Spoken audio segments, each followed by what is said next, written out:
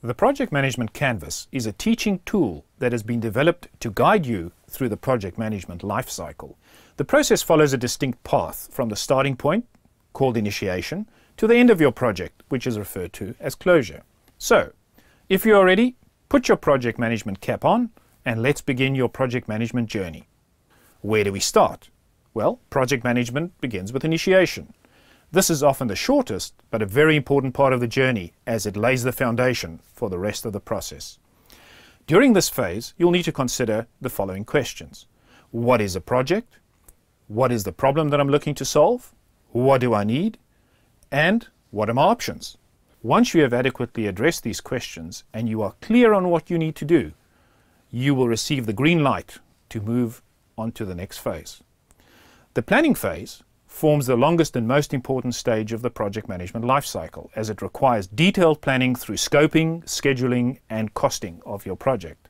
Many problems that arise in projects are the result of rushing through the planning phase of the journey.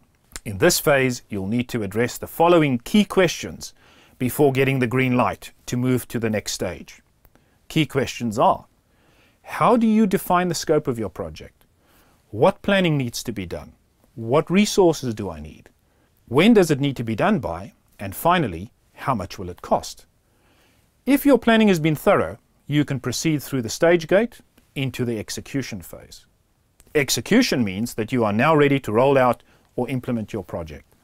To execute your project effectively, you will need to identify, assess, and deal with risk or any uncertainty that may present itself.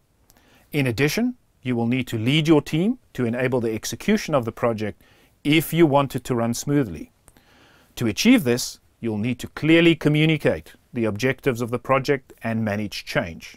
Engaging stakeholders and managing expectations is all part and parcel of the ongoing journey.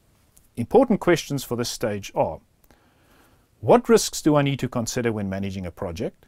How do I engage and manage stakeholders? As a leader, how do I motivate, communicate, and lead my team? And finally, am I doing the project right? Once you feel you have sufficient clarity around these questions, you should receive the green light to move through to the last part of the life cycle. The final stage, closure, is wrapping up your project and handing over the final outcomes to your stakeholders. It is in this final phase that you measure the success of reaching your project deliverables. Receiving and considering feedback is essential so that you can take on board any lessons learned in order to apply them to future projects.